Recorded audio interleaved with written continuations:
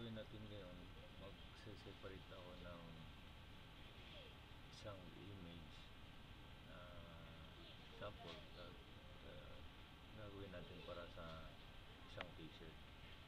So, meron na akong ginawang convert ko na into TIF uh, i-open natin dito importante yung pinaka the best na gagamitin natin sa separation studio ay yung naka TIF siya.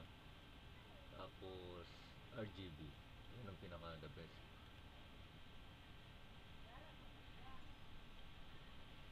Halimbawa ito yung gagawin natin para sa isang t-shirt o kaya yung meron tayong project na ano, So pagbukas nyo ng image sa separation, separation studio or ano, color separation, automatic lalabas itong lahat ng channel. So yung gagawin nyo, uh, una gagawin natin, i-merge natin yung ibang kulay para mabawasan natin yung frames na gagamitin na hindi naman ma hindi masyadong mababago yung yung outcome ng uh, kulay natin. So ang gagawin ko is immerse natin yung gray uh, immerse din yung purple immerse natin yung turquoise so mayroon meron pang green channel pero wala siyang laman. Gagawin i-delete na lang. I-delete na natin to. So ayan na yung limang kulay na gagamitin natin to. Gagawin ko saturate natin bawat channel. Ito huwag masyadong taman lang gagawin natin na to Ayan, pwede na sa 20 ito para mas buhay na buhay yung kulay pwede natin hanggang 50 saturate natin siya Ayan, pwede na yan tapos yung blue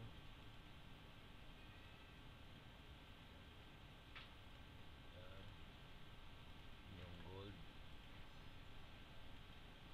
pero kung ayaw nyo naman yung rara- bright yung kulay pwede naman kalahati 25 hanggang 30 sa 35 pwede pa tapos dito naman iba ang gagawin natin. Sa saturate pa desaturate or ilalabas lang natin yung highlight. So dito pwedeng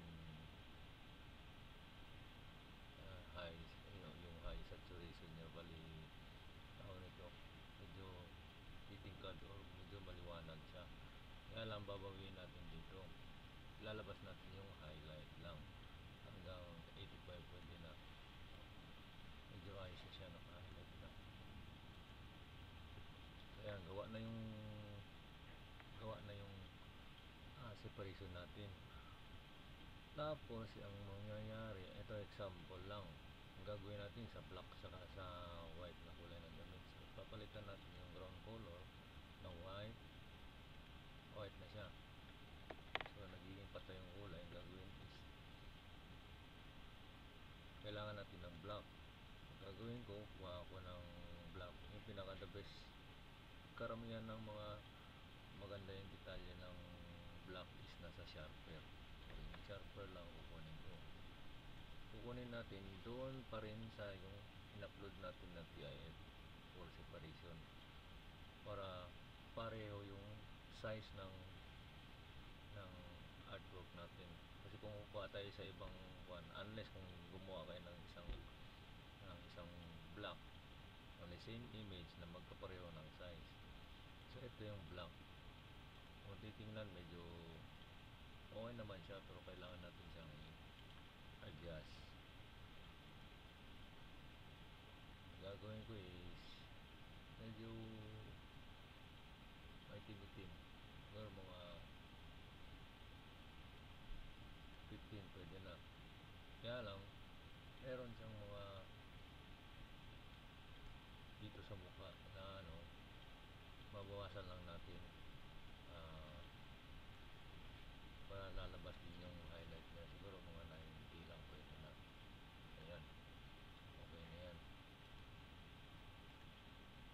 ayan gawa na yung yung one natin pwede natin siyang i-print sa white na t-shirt, pwede rin siya sa black. Um, sisave natin siya pag, ito, sisave natin. Um, save. So, mamimili tayo na saan natin ilalagay siya. Ilalagay ko dito na lang sa desktop. Lalagyan natin ang pangalan. SPG. Save. Eh, nakasave na siya sa SPG. So, open tayo ng Corel I-import ko siya na import siya. Sorry doon, sorry. Masyadong lag yung laptop ko. Tan sa mga walang RIP software, ito yung gagawin natin na separation. Yung manual na half tones. Ito na siya. EPS siya. So, open natin. Ito yung dalawang klase ng kuan pag may pag wala kang RIP software, ganito ang pag-import. Ah, import as editable. So, ipapakita ko paano.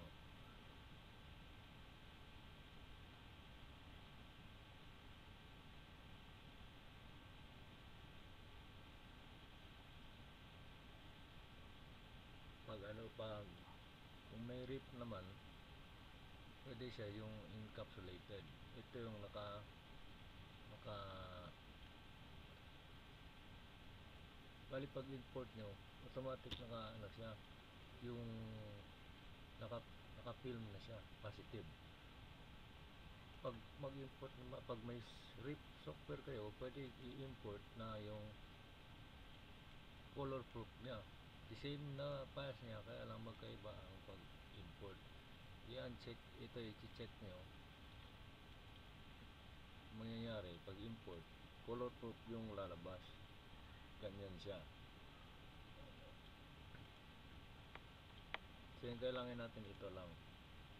I-delete na natin ito. Ito ngayon gagawa ako ng bago ko siya isi-separate gagawa muna ako ng registration mark. Meron na tayong naka-save na registration mark. Ah, i-import lang natin. Pwede namang o kaya ipakikita ko na lang paano pag gawa bilog lagay ng bilog ang kapal niya pwede ng mga 1 lang ganyan mas maganda yung pag mas kitang kita ko kaya mga 1.5 tapos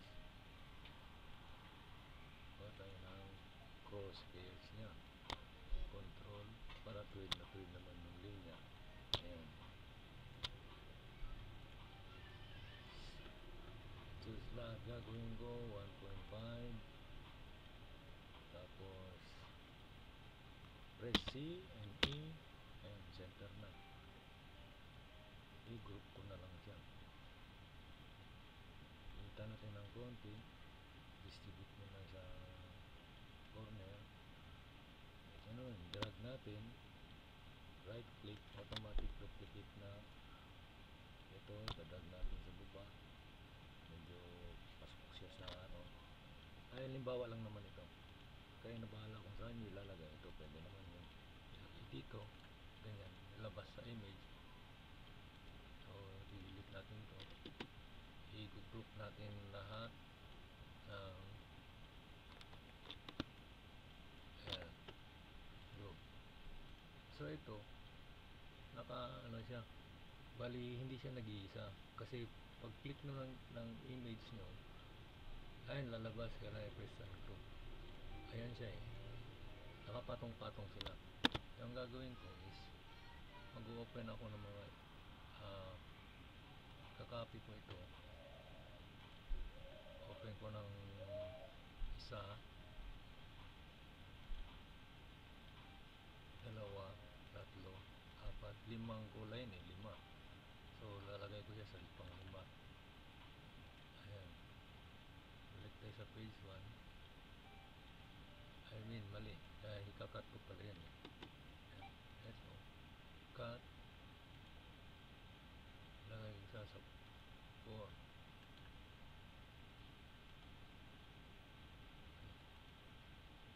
Gagawin isa-isa. Ah, ikakat ko siya. Lalagay ko naman siya sa 3. So, magiging isang peso cut lagay ko sa 2. At bawat limang kulay ay malambot. Ah, meron pa pala isa. Mali. Kailangan ko magdagdag ng isa. So, ito yung block natin. Yan, oh. ito yung block natin. Eh, kakat ko. Lalagay ko sa page 2. Page. Ayan siya. So, ayun, anim. Wala na. So, pwede nyo i-rename ito. Para hindi kayo malilito. I-rename nyo yung page. Ah, white page. Ah. okay. White base. So, hindi kayo malilito. Yung pinakadulo is, yun yung white top.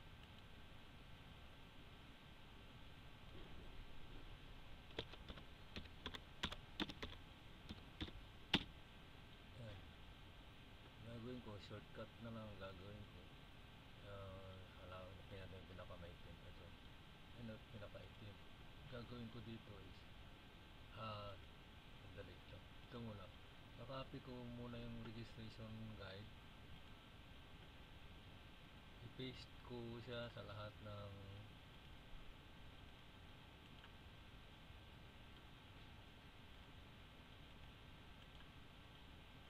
Ganun lang po pag maglalagay ka ng registration mark. Ayan, kompleto na. Yung gagawin ko, itong block channel, ah, sharper, ito yung papakita ko paano paggawa ng naka-halftone. Yung click nyo, punta kayo sa bitmap, mode, black and white. Ayan, naka, naka-halftone na siya. Okay, round 30 degrees 27 halimbawa gusto nyo 35 napalitan nyo lang ito ng 35 ayan siya. 35 lines per inch. So okay na siya. Wala na kasi yung kwan, square lang tsaka line. Iba naman yung pag line ganyan siya line siya. Pero medyo mas mahirap sa ihagod. So as a beginner or newbie pwede tayong mag start sa round. Kaya lang sa Corel, medyo limited sa ano, Photoshop, maraming pag, ah, pagpipilian ng shape ng ah, lines natin or dots. So okay na, kasi 35, 30, ayan na siya. Na- Naka-half tone na siya. Kaya lang hindi pa siya black na black. Gagawin nyo ulit is bitmap, mode, grayscale, or RGB. Okay na siya para magiging itim na itim siya gagawin grayscale ready na siya for positive printing. So okay sana makatulong yung ginawa kong video para sa lahat. Um, maraming salamat sa lahat